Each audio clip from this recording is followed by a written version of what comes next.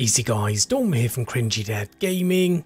So in this video I'm going to be showing you my perk loadout for my Doc class in the game Aliens Fireteam and this class setup really is designed for some of the harder difficulties such as Extreme and Insane but also comes in real handy for the intense game difficulty as well. Now I just want to point out there is no right or wrong way of setting up these classes and everyone will have different ideas of how they want to set these classes up and that's absolutely fine.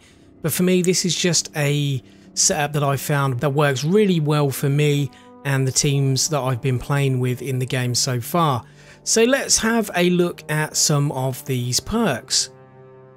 Now you might not have unlocked some of these perks yet and you will unlock them by leveling up the doc kit itself. So if you've not unlocked all the squares yet, then just keep playing through the game and earning XP for that particular kit and you'll eventually unlock not only some of the core perks but also some of the modifiers as well but also some of these perks can be purchased from the armory as well so if you have a look in there you'll notice there's a few to be able to buy there too one of the most important pieces of kit for me personally playing as the doc is the trauma station, which as you'll know is the ability to be able to heal teammates within the radius of the trauma station. But one thing that people will probably find with this, especially on the harder difficulties, is it will start running low or if not running out of the health that it actually gives. And once that happens, it becomes useless. One important tip that you guys should know, and you may already know this, but you know, forgive me for explaining it again for any of you who are new to the game, is that you can refill this by picking up first aid kits. Not using first aid kits, but by picking them up. So it's really important for you to be mindful, not only if you're playing as a doc, but if you are playing in a team with a doc, to not run over and pick up the first aid kits as soon as you see one. Let the doc pick up the first aid kits to be able to refill the trauma station, because not only then can the doc heal you, with that first aid kit, but they've also then got additional health to give in the trauma station.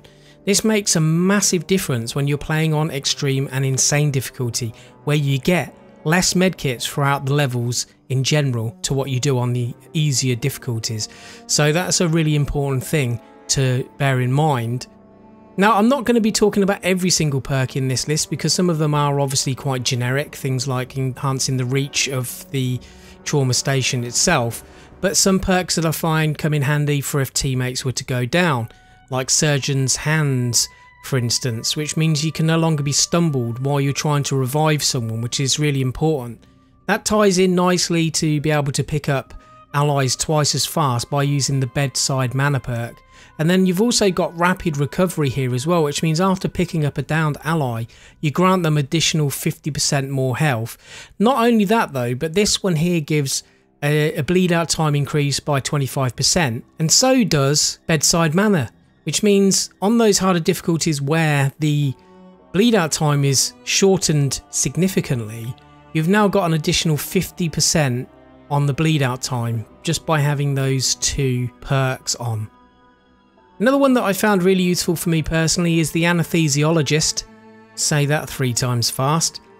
After not taking damage for at least 10 seconds, you'll gain 10% of your current life as temporary health. So you'll notice that above my health bar, I've got this little line of additional health above my own, and that really comes in handy for the harder difficulties. You are literally getting a health boost. I did however find though that after I'd taken damage and lost some health that didn't seem to regen and I don't know if that's a bug or not because it doesn't say it here but I noticed that it only regen them once you'd got full health and then you'd get the additional 10%. So just be mindful of that. Another couple of perks that are really good that are attached here to the field medic ability is the support system modifier which means your outgoing healing is increased by 20% and allies now gain 15% ability recharge speed while standing near you.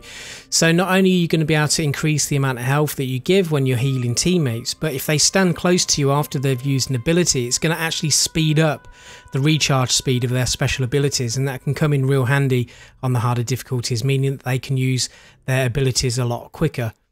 We've also got strength in numbers here, which means Field Medic now also grants you 5% damage dealt and 5% damage resistance for each nearby ally. So not only are you going to do more damage, but you're going to take less damage from the aliens if they get close. The last perk that I'd like to point out here in my doc grid is the Neurotoxin Specialist, which means dealing damage to an enemy now weakens them, causing them to deal 20% less damage for 5 seconds. This really comes in handy for those real close quarters situations where you might be getting swarmed by the cannon fodder aliens.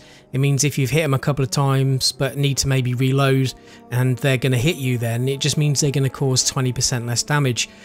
The thing is on the harder difficulties, as you will know if you've played them, is that the aliens do some severe damage to you, even just the cannon fodder aliens, which are just the smaller ones that are just usually pouring out of holes in the ceiling and walls, and that's a really handy perk to have. So I've found that this perk setup works really, really well for me. And if you've taken any tips from this video, don't forget to like, comment, and subscribe. Watch this space for more Aliens Fireteam Elite. Stay frosty, watch those corners, and I'll catch you guys on another video. Thanks for watching.